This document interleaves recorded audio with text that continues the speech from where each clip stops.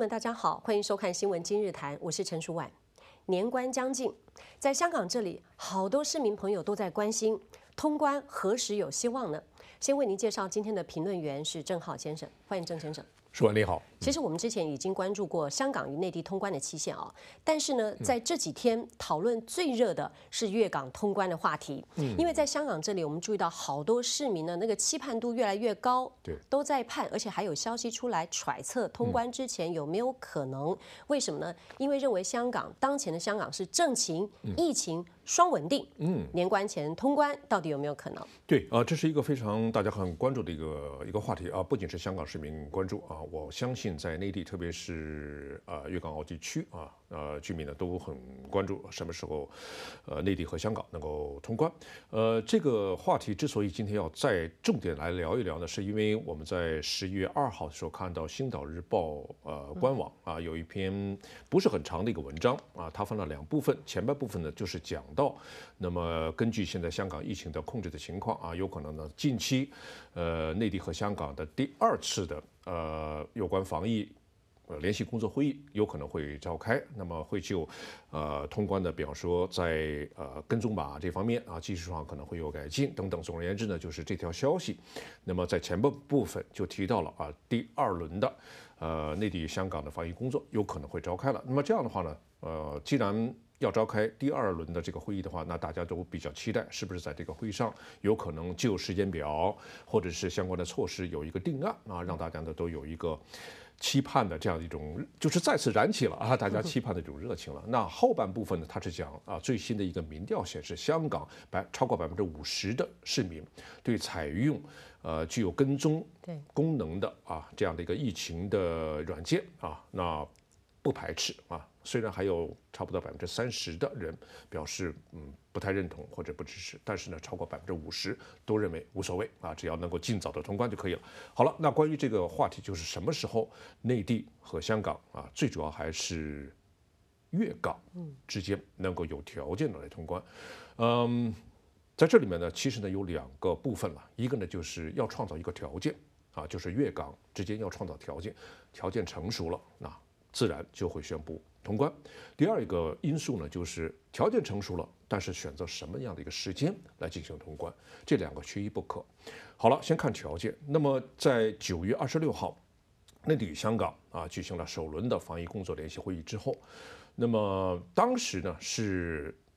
双方，就是内地和香港的主要的官员啊，香港那边就是政务司啊，这个李家超，政务司司长，还有呢就是陈肇始啊，就是呃。环境卫生卫生署啊，叫食物哦卫生署卫生局局长那那么他们参加了啊这个会议，那么主要呢还是就两地的疫情的相关的情况进行一个通报，来看一看大家需要在哪些措施方方面啊进行跟进啊进行衔接。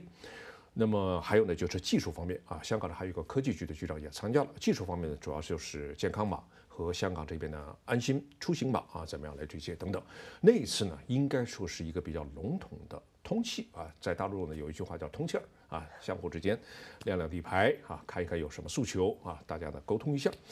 在那次会议上啊，大家要注意的就是有一句话，就是两地会继续的保持相关的沟通，尽快的召开第二轮的会议。但是呢，一下子。一拖就是四十多天过去了啊！到目前为止，双方都没有公布第二轮的联席会议什么样的一个召开。所以呢，我刚才说过，十一月二号《星岛日报》的一篇文章，重新燃起了香港市民的一个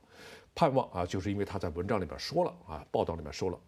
有可能会近期啊启动第二轮的这个协商会议。那么条件方面呢，我相信呢有这么几个：第一个就是两地之间啊，就是香港和内地，主要还是。啊，广东省地区，呃，首先不能再有新的本地的确诊的个案啊。在这方面的话呢，香港已经持续一个多月啊，没有本地的个案的发生。虽然每天有零星的个位数字的输入，但是呢，基本疫情向好稳定啊。那么这是第一个这个这个条件。那内地呢，虽然已经爆发了这个应该是第四、第五波的这个疫情啊，但是呢，从广东省的这个情况来看。并没有发生太严重的啊这样的一个本地的一个个案，因此呢，内地和呃这个香港啊啊就是主要是广东了啊，在这个疫情控制方面啊，应该说是还是做的不比较好，特别是香港啊做的是非常优秀了。那么今天林郑月娥啊在一个会议上也说了啊，那么香港一直保保持着啊近几个月的这个零确诊啊，在世界上啊是确诊病例最低的一个城市啊，说明呢港府在这方面这个成就啊成果啊还是非常应该肯定的。所以呢，两地确保在近期内不发生本地的个案，爆发新一轮的疫情，这是第一个首要条件。第二个，疫苗的接种率，在开始的时候呢，香港传出不是官方说的数字啊，应该是达到百分之七十，最好是百分之八十的接种率，那么才能够创造出一个条件。从目前来看，香港已经超过了百分之八十啊，这个接种率。当然，老年人的接种率非常低啊，不到百分之二十啊，不到不到百分之三十啊，二十多啊。那么在内地的话，已经远远超过了百分之八十，所以呢，就疫苗的接种率来看的话，两地，香港和广东省啊，那么已经是完成或者是达到了这样一个目标。现在呢，开始接种第三剂啊，香港特区政府已经宣布了，在下周四开始为有需要的高危人群啊接种第三剂的疫苗。内地部分城市地区已经开始接种了，会不会把第三剂接种率也纳入到内地？和香港的通关的一个指标呢？我认为不会的啊，所以大家不用担心。为什么不会呢？因为这个是刚刚开始启动的，对吧？不可能说这个第三季的接种率也要达到百分之八十，那就遥遥无期了。所以呢，从两地的疫情管控、接种率来看，第三季疫苗的接种率并不是考虑在第二轮的啊内地和香港的联席会议这个议题上面的啊。那么第三一个条件，当然就是技术方面的，香港的安心出行码。与内地的健康码怎么样来衔接？这是一个非常复杂的一个技术问题。这里面呢，不仅仅是我说的技术非常复杂，并不是说指的是技术上的复杂啊。技术上衔接并不是很难。香港的科技局还有香港的一些公司在研究怎么样和内地的健康码进行一个密接啊联系起来。呃，难是难在呢，就是香港在这个问题上还有不同的一些认识啊。那么，特别是呢，据我所了解呢，在香港居住的外外籍人士对此呢还有一些不了解啊，或者是有一些抵触的情绪。他们认为呢，如果到内地去，无论是旅游、公干啊，还是做什么事情，那么一旦啊接上了啊内地的这种跟踪系统的话啊，他们的隐私啊各方面呢可能没有一个安全上的保证。当然，也包括香港本地的一些市民。所以呢，复杂在怎么样来解释清楚。啊，这样的一个安全出行码，或者叫一个跟踪的一个 APP 啊，并不是用作其他的用途啊，只是为了抗疫啊，只是为了防止疫情扩散，然后呢进行每个人的这种疫情的一个跟踪通报啊，这样的一个功能。嗯，当然还有香港人啊，也有，那我觉得也只是少部分人人士啊，那么他不太愿意接受这样的一个事实。重点是，如果要衔接的话，和内地的。呃，A P P 衔接的话，那么在香港还有一个法律上的一个问题，因为个人隐私，香港是有个人隐私的保护的条例的。那么这样的话呢，如果没事，大家都没事；如果有事情的话，依照什么样的法律或者是条例来解决相关的一些纠纷？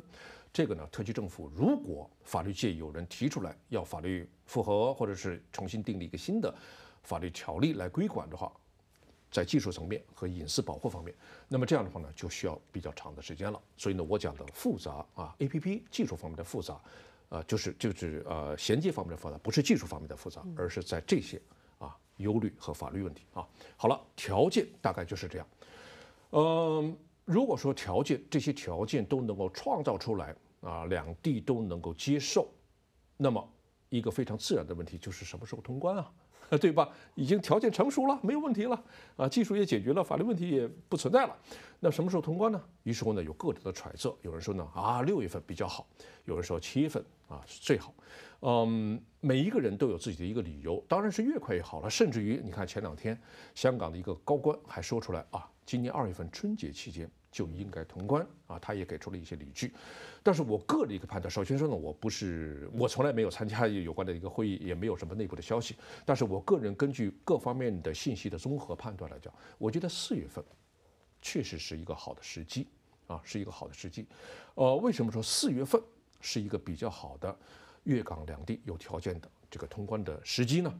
首先呢，就是那经过了第一轮的会议之后。那么现在呢，开始推动第二轮的联席工作会议啊。那么《新岛日报》说马上就要开了，我个人认为的话，可能在十一月中旬左右啊就会召开。呃，从会议理解、了解大陆的这个行政机制的人都知道啊，每一次开会的话呢，啊，都会有一些讨论，还有一些检视，还有一些对新的一些问题的提出，研究新的应对的措施办法。所以呢，每次的会议呢，实际上呢，它是有很多的内容的。第一次会议只是一个沟通的会议，第二次会议将会就第一次会议所提出的一些问题进行解释、检查啊。那么同时呢，研究具体的问题，包括 A P P 技术上的一些衔接，那么还有就是一些防疫的措施是不是到位，是不是够用啊？你看。最近这段时间，香港收紧了特殊人群来港的免疫的这个措施，这个呢就是包括第一阶段的会议的时候提出来的啊，因为你的香港本地的防疫的措施和我们还不太一样，香内地是非常严格的零确诊，而且呢防疫非常的严，一旦出现情况的话，怎么样的一系列的措施等等，所以呢这个方面的话，在第二轮的会议上也会要解释，然后再提出来更具体的一些办法，所以第二轮的会议大家要注意啊，第二轮的会议。如果说在近期召开的话，它并不是一个宣布什么时候通关的会议，而是就第一阶段的会议一个总结，同时对第二阶段提出来的新的问题、新的一些啊应该做到的一些要求来更加的完善。因此呢，它仍然是一个磋商、深度磋商、交换意见、就具体问题进行解决的一个联席会议。好了，那么你看啊，第一个会议九月二十六号。到今天四十多天过去了，第二次会议我们假定，我们假定十一月份中旬召开，那么开完这个会以后，两边又要分头的来就第二轮会议提出的问题进行研究、解决、制定措施、技术上面要衔接等等。好了，到第三次会议的时候，因为第二轮会议没有提供通关时间表嘛，对吧？好了，那还有一个第三轮的时间。那么第三轮时间呢，大家要注意，你看啊。如果四十多天的话，如果我们假定十一月中旬开的话，四十多天过去后就十二月底了，对对吧？那么就是一月份了。一月份有没有可能召开呢？一月份有一个问题，就是年底的时候，就是月底的时候，三十一号就内地就进入到春假了。从一月三十一号到二月六号是内地法定的这个春假的日期。那么如果大家有幸看到第三轮的会议是在一月份开的话，这是非常好的一个现象。啊，那说明四月份通关，那真的是有望了。如果不行，那可能还要往后推。但是我个人的一个判断，在一月份召开第三轮的相关的会议是有可能的。那么同时呢，第三轮的会议上就有可能定出时间表了。但是这个时间表定在什么月份呢？我个人刚才说了，是在四月份比较合适。这是因为考虑到两个因素，第一个就是二月四号到二月二十号是二零二零年中国冬季奥运会的时间。冬季奥运会是一个非常严格的要管控、防止疫情有可能死灰复燃啊这样的一个非常重要的时刻。不要说啊，对外的输入型的这个严控，对内啊，包括人员的流动都会有非常严格的这样的一个掌控。那么在这个时候，两地即便是在粤啊，就是广东省内，香港和这个广东通关这个问题，其实呢都是蛮大的一个问题，蛮大的一个问题。因此呢，在二月份通关的这种可能性是非常小的。好了，春运，春运刚才我说了一月三十一号啊到二月六号是内地的春节的假期的时间，而春运呢是跨越的。但是今年的春运和去年一样啊，是要鼓励就地过年，而且再加上国庆节，今年的国庆节出现了这一波的一个访谈，昨天九十多例啊，对吧？现在累计已经六百超过六百二十例了。那么到目前为止还没有结束啊，所以呢，就是因为大面积的人员的流动，造成了这一波的一个疫情。那么春节的流动就更大，几十亿人次的这样一个流动，怎么可能放松疫情的管控和放松春运呢？那么因此在二月份的时候，基本上内地的这样的一个人流的往来的控制是非常严格的。那当然也包括香港和广东省的这样的一个运动是不可能的。好了，二月份我们说有一个冬季奥运会，三月份呢，三月初是两会啊，对吧？通常是三月五号开始两会，两会的话大概是一个星期左右。那么这个时候怎么可能去考虑到你香港和粤，就是广东的一个局部的一个通关的问题呢？那个时候是商量国家大事的时候，对吗？香港啊，通关的问题那可以先放一放，整个来看的话，二月份春节不会考虑，然后呢，加上二月份的冬季奥运会，再加上三月份的这个两会期间，那么这样的话，基本上四月份通关就就理所应当的应该是在三月份以后。四月份有一个好处，为什么呢？四月份呢是复活节啊。那么香港复活节啊，大家希望能够出去走一走啊。另外呢，就是清明节，内地有一个清明节，正好呢四月份的时候，从人情、消费、旅游各方面来看比较好。如果那时候创造的条件都已经完成了，也包括技术上的问题解决了，两边的 APP 完全密接了，四月份有一个非常好的时机，那就是复活节的时候。那么如果能够开放通关的话，那么可以消费旅游啊，可以这个扫墓啊，这清明节嘛。所以呢，四月份我认为是比较好的一个时机。当然，这里面还有很多的一些因素，包括临时的突发的因素，包括两边、两地、内地和香港的沟通的情况啊。但是呢，大家有一个盼头，就是希望能够尽早的通关。是，嗯，对，在这个讨论声中可以感受到那种期盼性。先谢谢郑浩先生，我们稍作休息，下一节回来要关注本届的联合国气候峰会上，美国总统拜登为何针对中俄两国诱发针对性言论呢？稍后见。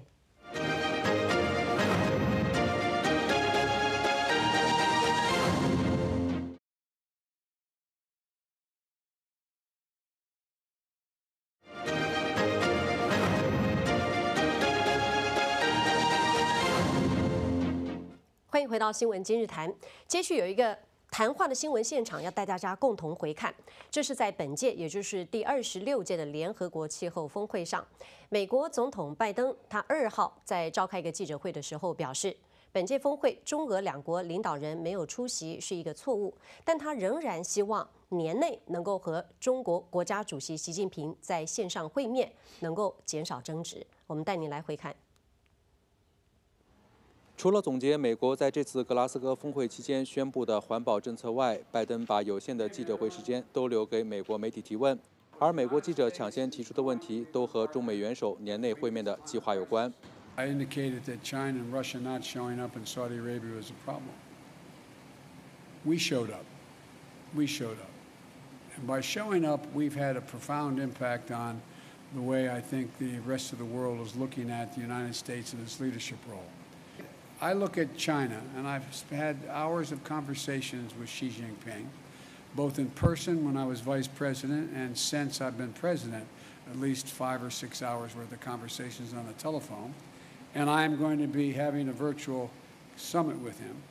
Uh, I've made it clear this, does, this is competition, it does not have to be conflict. 富豪卫视曹杰、张盾，格拉斯哥报道。